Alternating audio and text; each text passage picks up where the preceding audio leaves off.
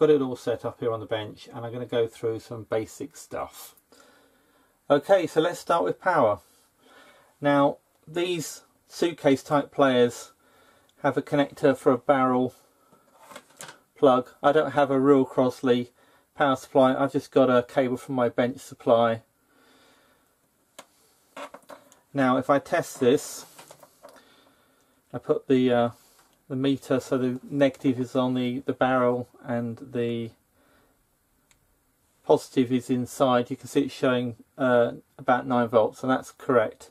Now some cheap power supplies probably will show more than that um, because they're unregulated and unregulated power supplies rely on the equipment drawing some current in order to drop the voltage. But anyway, um, 9 volts with a, a positive centre and a negative barrel is probably what um, your system needs. So we plug that in.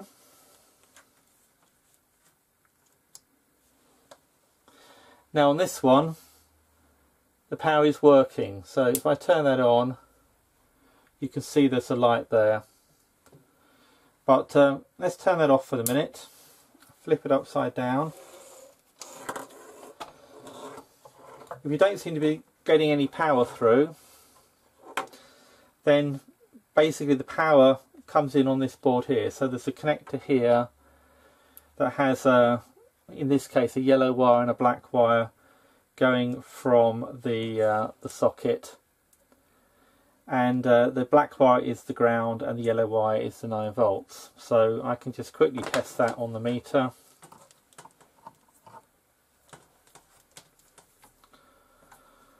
Let's put the uh, black against the black Right, and there we go. See about 9 volts. Now the power then goes through a diode, which is uh, to make sure that you don't connect the power up the wrong way around. So that's one end of the diode, and we're also getting about 9 volts there.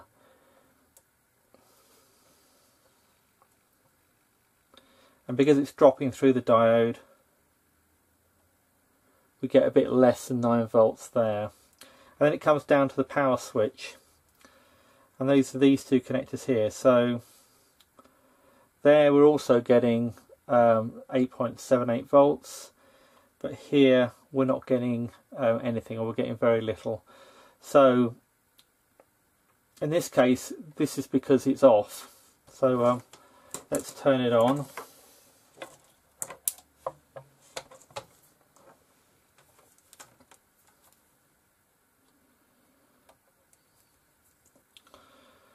So it's actually dropped off the voltage a little bit because it's drawing a bit more power. And uh, you can see there on the other side of the switch we're also getting um, 8.3 volts. So basically if power is getting through to there then that's showing that the switch is working. Now if power isn't getting even to here then there's a problem with that diode. So that diode probably needs to be replaced. Although if the diode is broken uh, or blown, then that may indicate that there are other problems in the circuit.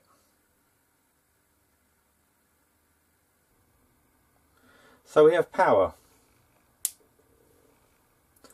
However, turntable doesn't turn. Now, there's two ways on this unit of achieving that. One is to uh, turn the auto stop off. So when the auto stop is off, the turntable goes no matter what the position of the tone arm. With the auto stop on, it starts when the tone arm is moved and then it stops when it gets to the other end and that's controlled by another switch underneath. Now you may not have this uh, auto stop on off um, in which case it will purely be this action here now you may hear the motor going but the turntable not going round. That's probably a problem with the belt. The motor drives the turntable via a belt and if the belt is uh, off or um, otherwise damaged then the turntable may not go round. So let's look at how the power gets the motor underneath. Now first of all the power comes off the board here So basically this connector isn't in properly then uh, not much is going to happen. Now the minute I've got the unit powered up but the motor isn't running um, so the, the auto uh, stop is turned on. Um, if I just measure the voltages on that switch for the minute and I ought to say that the um, the other cable, the other um, probe is actually connected directly to the ground on the power supply just to make it easier for me to do this. So on the auto stop switch. I'm getting 8 and a bit volts on the top pin. And pretty much nothing on the bottom pin. So when the auto stop is off the motor actually starts to turn.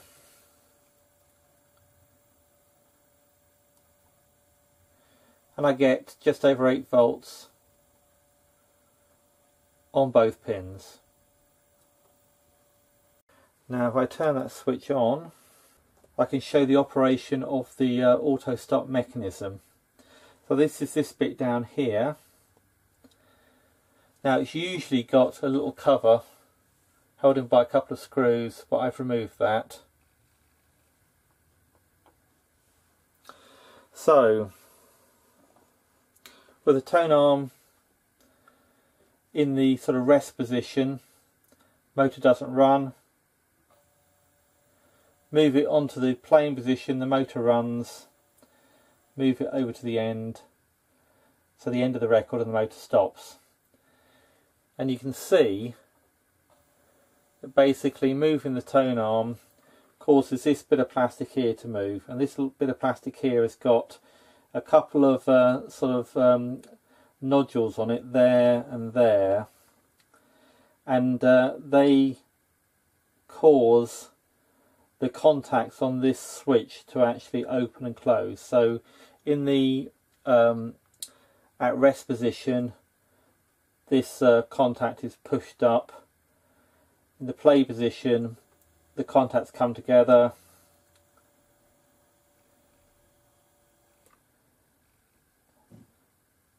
and in the uh, end of record position the, the contacts are pushed apart again. Now I do a quick voltage test.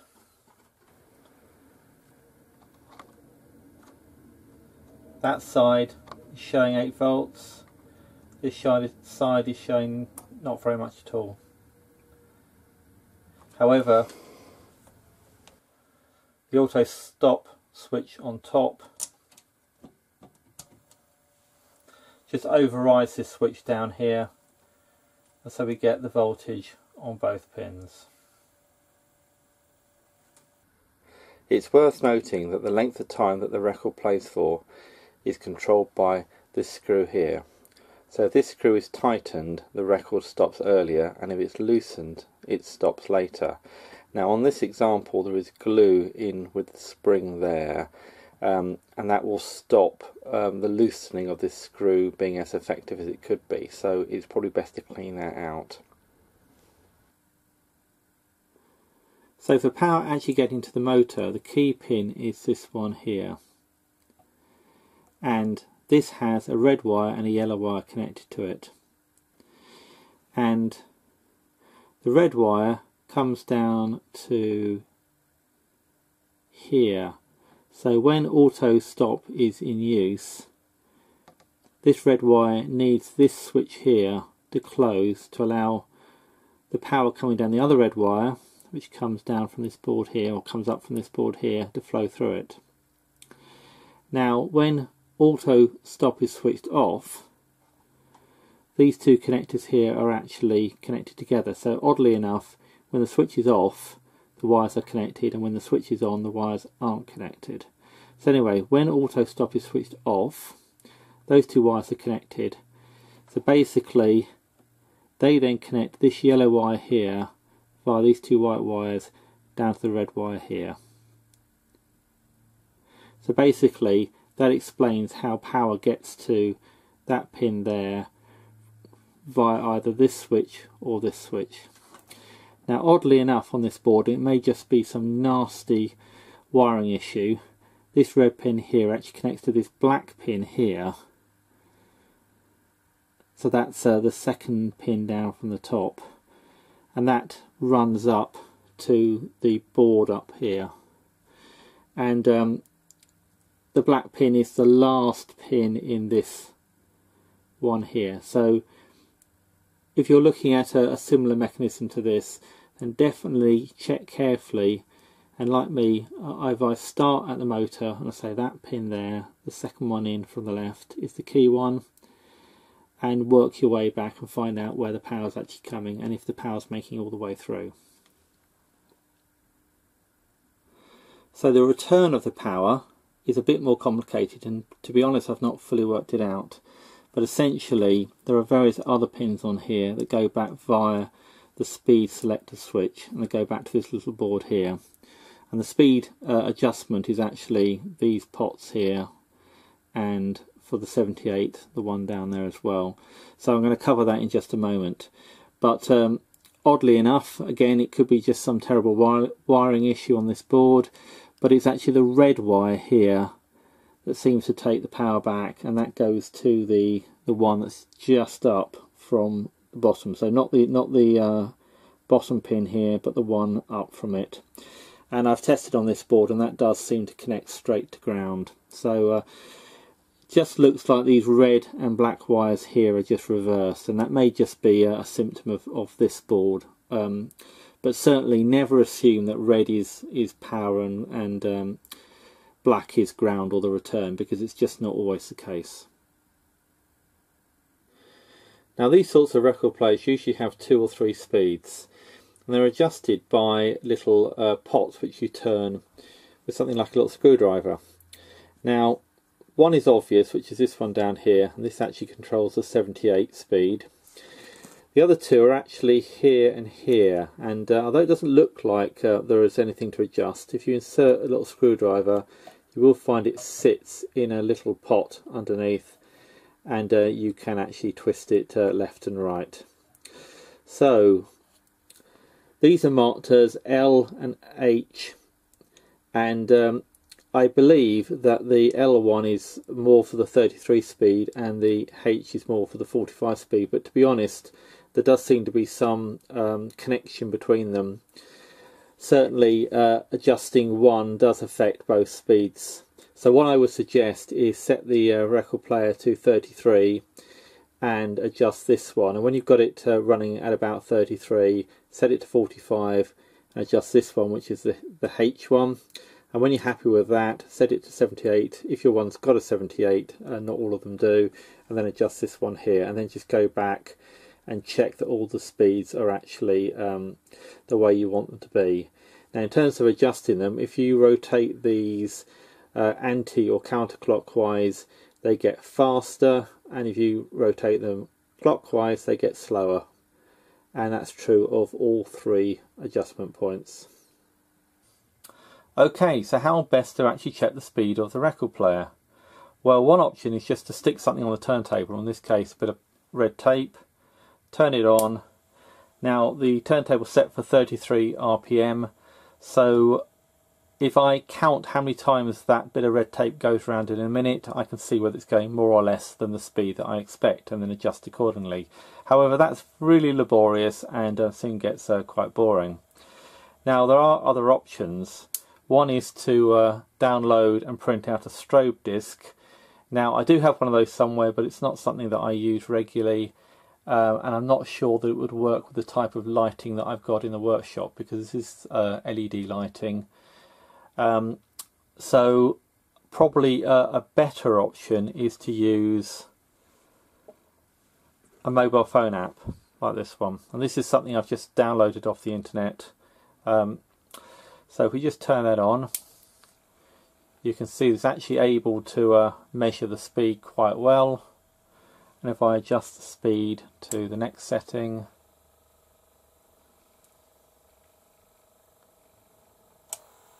and the next setting, you can see that I've actually got the speeds um, quite uh, well adjusted on this turntable now. So let's try a record.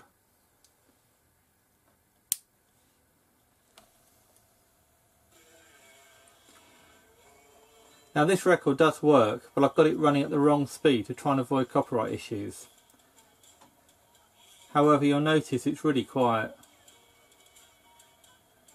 Volume control doesn't do much either, in fact doesn't do anything.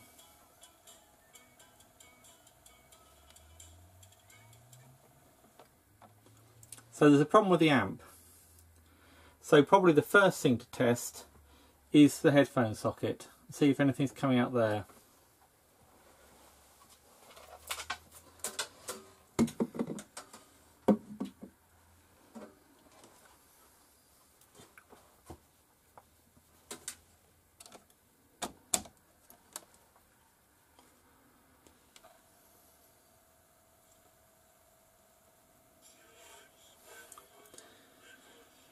Let's try the volume a bit. Well, that's working much better.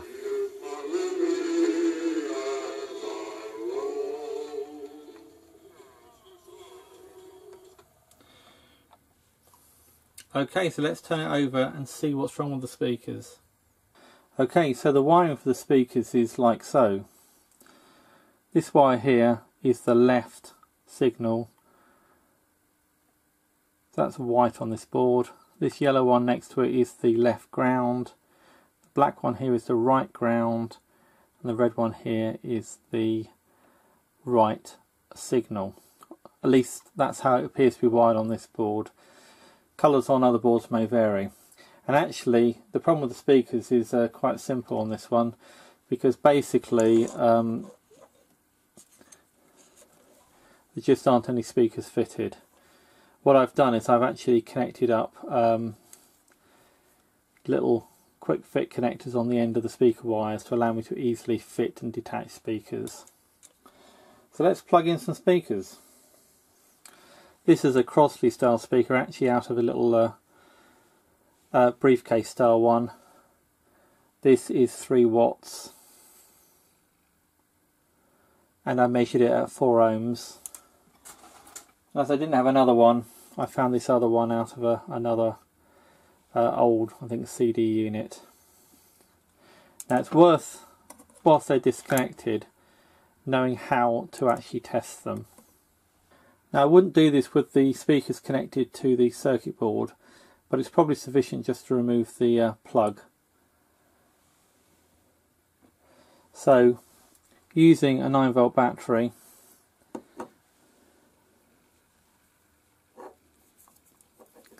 I just touch that there and briefly touch that there. Right. Hear that crackle. So that speaker sounds like it's probably okay. Try this one here.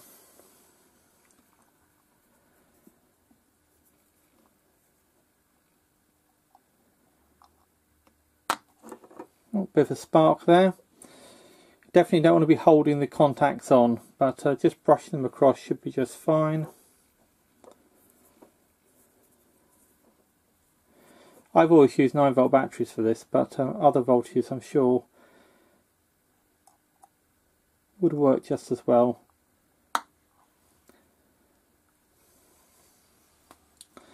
So those speakers do appear to work just fine. So with the speakers connected up,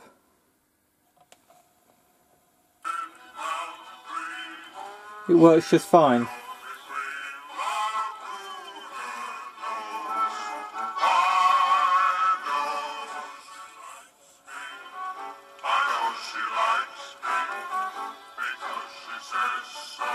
And you can actually feel the vibrations through the cones of the speaker.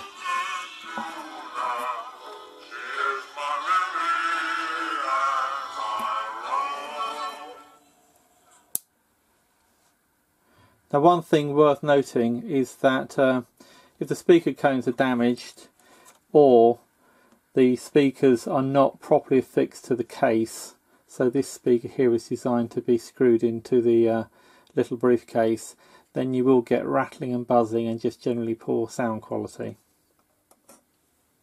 Okay, so what to do if the speakers work individually on their own but no sound comes through the amp to them and there's nothing coming through the headphone jack. Now it is possible to test the amp um, on its own. Now the sound to the amp actually comes from the cartridge which is this bit here. And I've got another one here which has been removed. So basically on the bottom of the cartridge is the stylus. This whole red thing is often known as a stylus, but it's really just the, the, little pointy bit in the middle there. And that picks up the vibrations from the grooves in the record and actually converts it into electrical signal and it comes out the back there. And there's four pins, bottom two are the grounds and the top two are the left and right channels. So if you disconnect one of the signal channels, so the one of the top wires, and actually touch it to the um, the ground, you should hear crackling through the speaker. Now, I'm going to use pliers for this, not because it's a good idea or necessary, but because I just can't get my fingers in um, with the camera in the way. And uh, also, as soon as I touch that connector with these pliers, you can hear hum through the speaker, and I have got the volume up quite um, quite high and that in itself is a pretty good indication that um, the amp is working. If I do the same on the other side,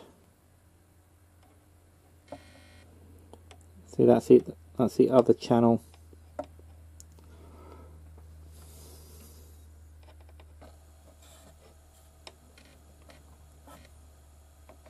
Difficult for me to reach it. Anyway, let's disconnect that cable there. Just pull it straight back, don't wiggle it. Now if I touch it there, I can hear crackling through the speakers. So basically, if that works for you, uh, but you're not getting any sound off the record, then the problem is almost certainly the cartridge itself. So if you suspect the cartridge is faulty, first thing to do is to check the stylus.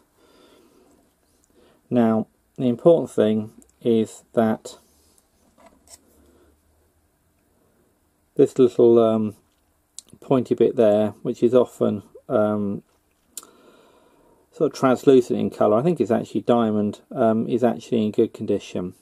And basically that picks up the sound and uh, goes down this little plastic bar here uh, into the cartridge. Um, now if this is missing um, or broken, you'll probably still get sound out through the speakers, but it'll just be awful. So it is possible to buy replacement um, clip-on styluses or stylus shields. Um, however, it's also pretty much as cheap just to buy a whole new cartridge. And um, this one is basically out of a similar unit. Um, and would just fit in, in, in, in its place. However, it's also possible to buy better quality ones. So this one here um, is physically the same size.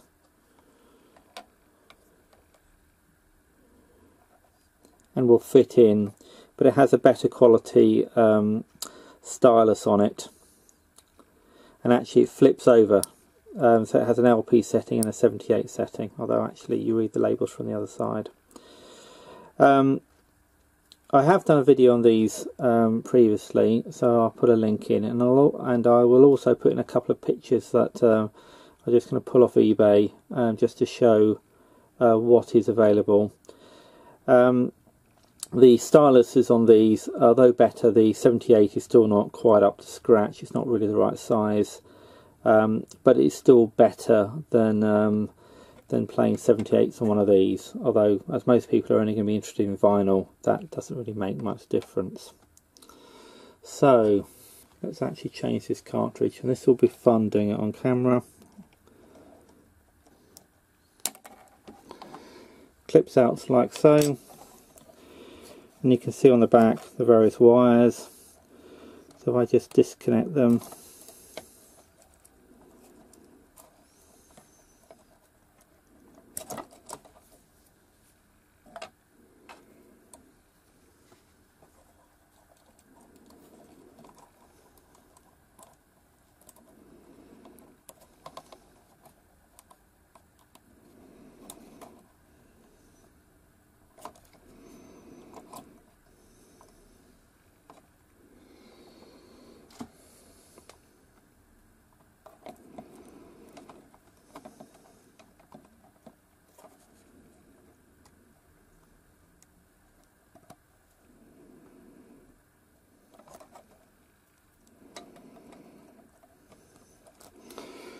Right, just going to do a quick power on test.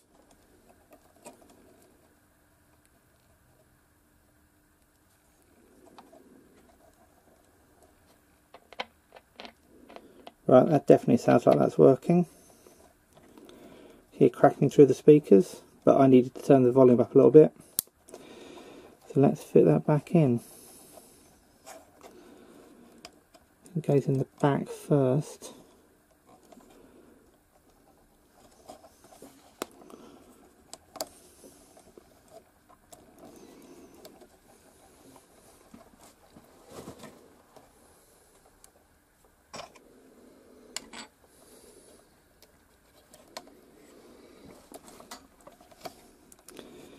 To make this bit fiddly at the best of times.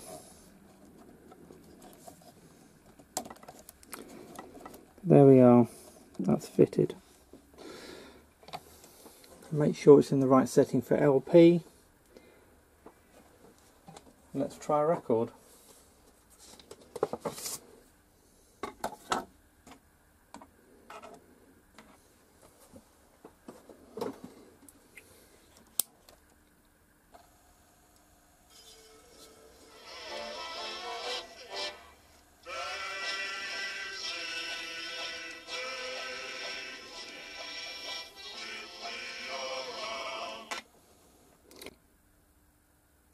Now I'm going to leave it there for this video because this video is plenty long enough as it is. Um, there is certainly more that could be said about this type of record player and I haven't uh, covered the amp circuitry at all really um, and actually this little board here which has got the amp on um, does vary from unit to unit. These sort of uh, briefcase ones with um, just the very basic controls I think are as simple as this one but some have uh, like USB uh, recording and Bluetooth and the like, and um, they obviously will be more complicated. Also, things like stack systems will feed um, the output of the record player directly into like the, the main amplifier that's also used by the um, the radio and CD player and the like. Okay, that's it for now. Thanks for watching. If you've enjoyed this video, I'd be very grateful if you'd like it, and also please subscribe to Mr. RG Stuff. Thank you.